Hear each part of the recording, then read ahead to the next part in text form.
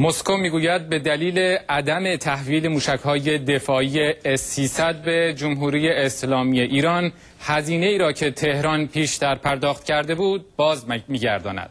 سرگئی چمزوف مدیر مجتمع دولتی فناوری روسیه امروز گفت مسکو آماده است به خاطر عدم تحویل موشکها پیش پرداختی را که از سوی تهران دریافت کرده به جمهوری اسلامی پس دهد.